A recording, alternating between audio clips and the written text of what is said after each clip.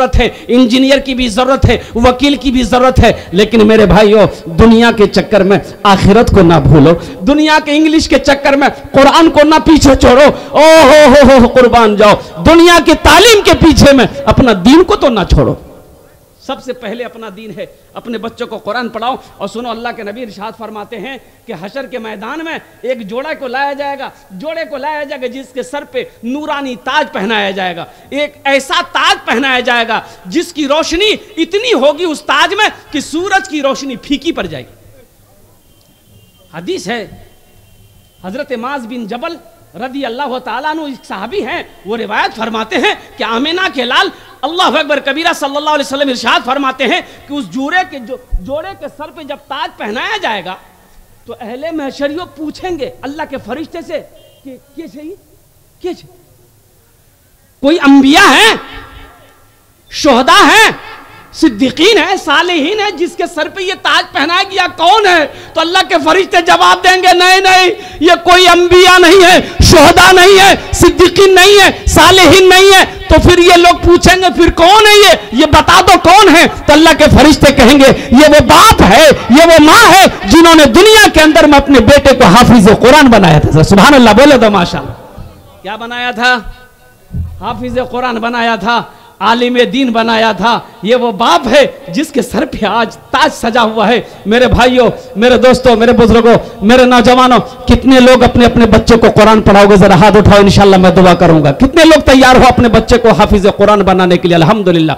ये सारे लोग तैयार हैं, सारा मजमा तैयार है अपने बच्चे को कुरान पढ़ाने के लिए। देखिए, इब्तदाई तालीम जो होना चाहिए, मेरे बच्चों की वो कुरान से होना चाहिए। अल्लाह अकबर कबीरा, ये किताब सिर्फ़ घर में रखने वाली किताब नहीं है, ये ताकों में सजा कर रखने वाली किताब नहीं है, अलमारी के ऊपर में सजा कर रखने वाली किताब नहीं है, ये किताब तो रोज़ाना पढ़ने वाली किताब है।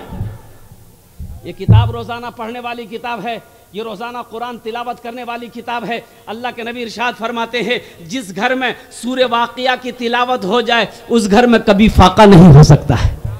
उस घर में कभी फाका नहीं हो सकता है। आज हम परेशान हैं। आज हम परेशान हैं। चार बेटा कमाता है। दस बीघा ज़मीन का अनाज मेरे घर आता है। घर में बरकत नहीं है। किधर से आता, किधर चला जाता है? हम दूसरों से शिकायत करते हैं। हज़रत से कहते हैं, हज़रत, कोई ऐसी तावीज दे दीजिए। घर में बरकतें नहीं जमो खाली उलझन छे घर कोई ऐसी तावीज दे दीजिए कि घर में बरकत हो जाए।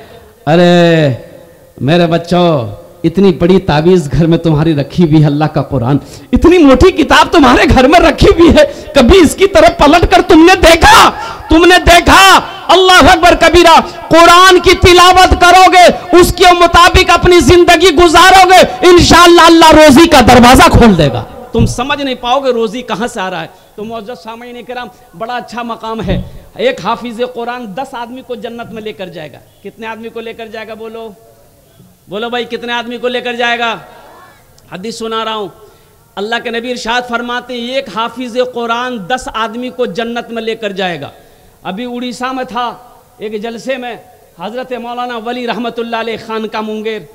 अल्लाह उनके दर्जात को बुलंद फरमाए, जरा आमीन कह दे हज़रत ने, ओ, बीस हज़ार का मजमा उड़ीसा की सरजमीन पर आपने खिताब फरमाया कि, लोगों, मुसलमानों होश में आ जाओ। मैं ये चाहता हूँ कि हर घर में, हर घर में एक हाफिज कुरान होना चाहिए। हर घर में एक हाफिज कुरान होना चाहिए। अल्लाह अकबर कबीरा, अरे जन्नत में ले जाने वाला कोई तो होना चाहिए। जगह हाथ को पकड़ कर जन्नत में लेकर चला जाए, कोई तो होना चाहिए। कुर्बान जाओ। एक हाफिज कुरान को मेरा अल्लाह कहेगा, जन्नत में चला जा। वह हाफिज कुरान रुकेगा तो इधर नज़र करेगा। जहन्नम में जाने वाले खड़े होंगे, जहन्नम में जाने वाले खड़े होंगे। इसकी नज़र पड़ जाएगी तो रुकेगा, देखेगा। तो अल्लाह, मेरा अल्लाह पूछेगा, क्या हुआ? जा, जन्नत में जा। कहा कि अल्लाह, ये दुनिया में ना ये आदमी। मैं बहुत गरीब था। या अल्लाह, इसके पास माल था, पैसा था।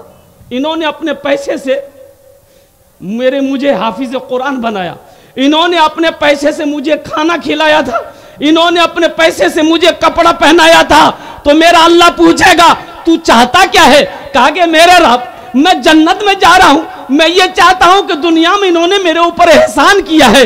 इसलिए मैं भी इसे जन्नत में अपने साथ लेकर जाता तो मेरा रब, मेरे अल्लाह के ख़जाने में किसी कमी नहीं है। मेरा रब इरशाद फरमाएगा, जा, उसके हाथों को पकड़ और जन्नत के अंदर में दाखिल हो जाए सुबह अल्लाह बोले था माशा तो मेरे भाइयों, एक अमल है। वो लोग वो लोग चाहते होंगे, क्या, हा हा हा कि एक हाफिज कुरान दस आदमी को जन्नत में लेकर जाएगा और उसके माँ बाप के सर पे ताज सजाया जाएगा।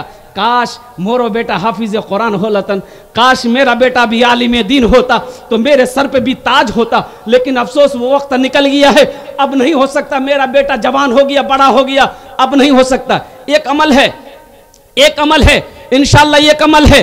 अगर आप करोगे तो मेरे रब के खजाने में किसी कमी नहीं है। इनशाला ये अमल आप करोगे, वो हाफिज कुरान आपके हाथ को पकड़कर जन्नत के अंदर में दाखिल कर देगा। इनशाला अगर मैं वो अमल बताऊँ तो कितने लोग करोगे? जरा हाथ उठाओ इनशाला मैं देखना चाहता हूँ। कितने लोग करोगे? ये हज़ारों का मजमा है। आगे से लेकर पीछे तक, दाएँ से लेकर बाया तक। अल्हम्दुलिल्लाह, सुम्मा अल्हम्दुलिल्लाह। और कुर्बान जाओ मेरे भाइयों, ये पहला सवाल मेरा है। पहला सवाल मेरा है इस पिंडाल का खर्च पचास हज़ार रुपये आया है। पहला सवाल यह है, इस पिंडाल का खर्च पचास हज़ार रुपये आया है। एक आदमी कोई तैयार हो जाओ, इस पिंडाल का खर्च देने वाला हो। उसके लिए दस दुआ होगी। अच्छा दूसरा सवाल यह है, मुझे नौ बच्चों की दस्तारबंदी है, जिसमें बच्चियाँ भी है, बच्चा भी है। नौ बच्चों की दस्तारबंदी है। नौ आदमी मुझे चाहिए पाँच हज़ार वाला। एक बच्चा जहीन है कुत हाफिजा तेज है, दिमाग का तेज है। एक साल में हाफिज कुरान बन जाता है। एक महीना मदरसे में बच्चे को पढ़ाओगे, पाँच सौ रुपया खर्च होगा। कितने खर्चे हैं बोलिए? अरे बोलिए तो सही। पाँच सौ, एक साल के कितने हुए? छह हज़ार, एक हज़ार छुट्टियों को निकाल दो, कितने बचे? पाँच हज़ार! एक एक बच्चे को हाफिज कुरान बनाने की ज़िम्मेदारी लो, नौ आदमी तैयार हो जाओ। अपने माँ बाप के नाम पर एक एक बच्चे को हाफिज कुरान बनाने के लिए तैयारी हो जाओ कि हज़रत इंशाला पाँच हज़ार रुपया हम इस मदरसे में चंदा देंगे ताकि मेरा पैसा खाकर एक बच्चा हाफिज कुरान बनेगा। और कारी जावेद साहब कह रहे थे, इंशाल्लाह इस जलसे के बाद हॉस्टल का निज़ाम चलेगा। यहाँ यतीम बच्चे भी रहेंगे, गरीब बच्चे भी पढ़ेंगे। जिस माँ बाप के पास पढ़ाने की ताकत नहीं है, उस बच्चे को यहाँ तालीम दिया जाएगा। आपके पैसे से वो बच्चे को खाना खिलाया जाएगा। अल्लाह अकबर कबीरा, कयामत तक आप चंदा देकर मर जाओगे ये मदरसा कयामत तक चलता रहेगा। अल्लाह कब्र में आपको इसका सवाब अता फरमाता रहेगा। सुबह अल्लाह बोले दो माशा है कोई ऐसा कोई प्रधान साहब हो, कोई समिति साहब हो, कोई वार्ड कमिश्नर साहब हो, कोई मुखिया साहब हो, कोई ऐसा हो, इस पिंडाल का खर्च पचास हज़ार रुपया, अल्हम्दुलिल्लाह। ये पिंडाल का खर्च कोई पचास हज़ार रुपए दे दे, और पहला कोई नौजवान है इनशाला पाँच हज़ार रुपए और जिन जिन लोगों के बच्चे हाफिज कुरान बने हैं उनके उनके बाप से मेरी गुजारिश है कि अगर वो इस जलसे में है तो थोड़ा आगे आ जाइए। आपसे मुसाफा करना है। है कोई ऐसा बाप जिसका बच्चा हाफिज कुरान बन रहा है? उसका बाप इस जलसे के अंदर में है कि नहीं? अगर वो जहाँ जहाँ भी हैं, अल्हम्दुलिल्लाह मेरे करीब आ जाए। वो हम हम उनसे मुसाफा करना चाहते हैं और उनके नाम